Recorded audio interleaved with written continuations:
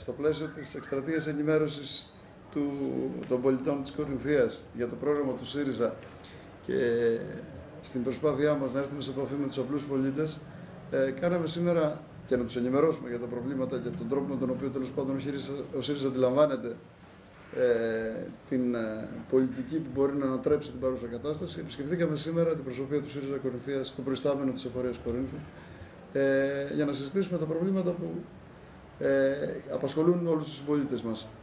Συζητήσαμε καταρχάς για, το έμφυα, για τον έμφυα. Θυμίζω ότι θεωρητικά από τη Δευτέρα θα πρέπει να έχουμε τη διορθωμένη εκδοχή του.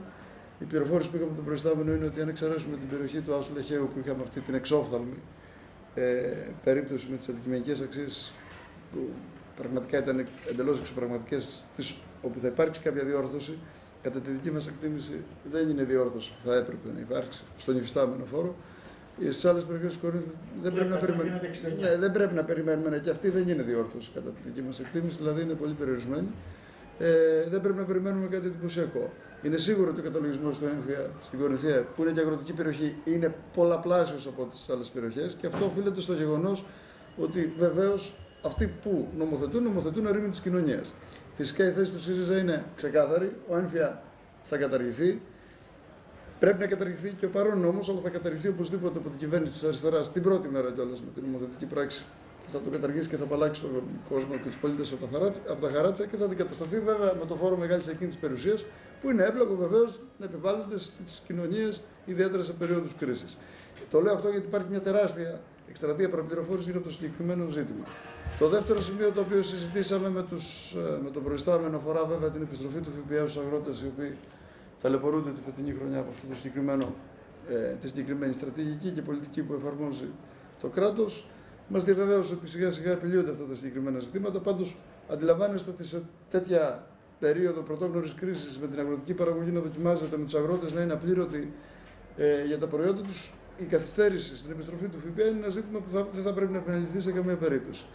Τέλος, συζητήσαμε την ε, κομβική ε, στρατηγική που ακολουθεί η κυβέρνηση ό,τι αφορά το ζήτημα των ληξιπρόθεσμων οφειλών. Εδώ η κατάσταση είναι τραγική. Δηλαδή τα σημειώματα ε, που φεύγουν προς τις τράπεζες με εντολές κατάσχεσης των λογαριασμών είναι απίστευτο αριθμό. Δηλαδή μιλάμε για 8.000 σημειώματα τα οποία έχουν φύγει από την αρχή του χρόνου.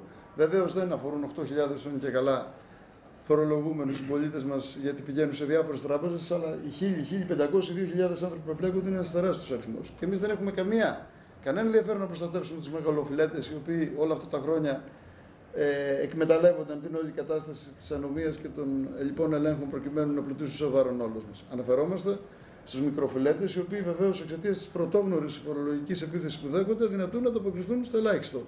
Είμαστε όλοι σε αυτή την κατάσταση. Φαντάζομαι ότι όταν λέω είμαστε όλοι δεν είναι σχήμα λόγου. Αυτό αφορά τη μεγαλύτερη πλειοψηφία των συμπολιτών μας και υπ' αυτή την έννοια η στρατηγική των κατασχετηρίων αδιακρίτως προκειμένου να υπακούσουμε στου οποιοδήποτε εντολές της Τρόικας είναι παράδεκτη. Αυτό είναι ένα ζήτημα το οποίο σε καμία περίπτωση δεν μπορεί να γίνει ανεκτό από το δικό μας πολιτικό χώρο.